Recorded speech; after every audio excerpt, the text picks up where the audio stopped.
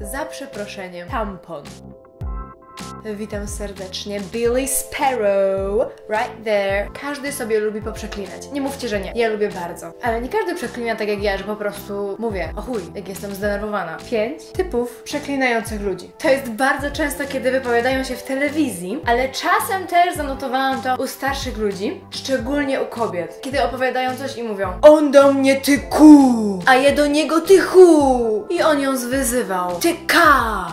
Przyznajcie, że to jest naprawdę typowe. Ludzie, którzy zawsze mówią za przeproszeniem. Bo im się wydaje, że jak powie do kogoś ty za przeproszeniem, kurwo, to to wtedy będzie w porządku, bo jest za przeproszeniem? Nie! Ci ludzie, którzy myślą, że za przeproszeniem coś daje, to są ci sami ludzie, którzy w filmikach na YouTubie wypikują swoje przekleństwa. Nie wierzcie tym wszystkim ludziom, że niby są tacy grzeczni, bo kiedy ja nie chcę użyć przekleństwa, to go nie używam. Albo wycinam je. To nie jest tak, że coś się wymyka. To się nagrywa i to się montuje. Uwaga, hit. Kiedyś moja nauczycielka powiedziała na lekcji za przeproszeniem tampon. Ludzie używają tego przeproszenia przed słowami, których się wstydzą po prostu. Ja się nie wstydzę, że przeklinam. I oczywiście są też ci ludzie, którzy używają przekleństw jako przecinków. No ostatnio jak szedłem ulicą to k, patrzę k, a tam idzie Zbyszek k. No mówię, no siema Zbyszek k. Tego wcale nie używają tylko tacy ludzie jacyś niewyedukowani, jakiś margines społeczny, jakby się mogło wydawać. Tak się odzywają normalni ludzie. I oni to już mają najwidoczniej tak zakorzenione w podświadomości, że jak nie wiedzą co powiedzieć, to nie mówią na przykład "Eee", tylko mówią k.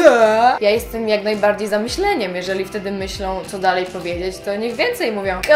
Hicior. To są też przeklinające dzieci. Nigdy nie zapomnę takiej sytuacji, kiedy ja i moja przyjaciółka miałyśmy po 8 lat. Pod klasą upuściła torbę i podnosząc ją powiedziała takie soczyste kurwa.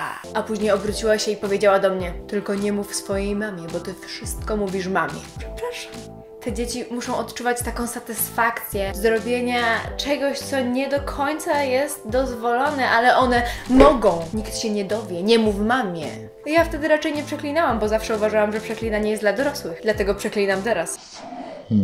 Są też tacy krzykacze. Ludzie, którzy nie potrafią opanować swoich emocji. Pewnego dnia nalewają sobie kawy, upuszczają kubek. Kurwa mać! I wtedy ich najbliżsi podbiegają do nich i pytają, czy coś się stało, bo tak krzyczą, jeju, kurwa, upuściłam ten jebany kubek. Mamy to, mam to. Piszcie w komentarzach, jaki macie stosunek do przeklinania i którym typem jesteście, bo ja jestem czasem tym ostatnim. Muszę przyznać. Zdarza się. Buziola!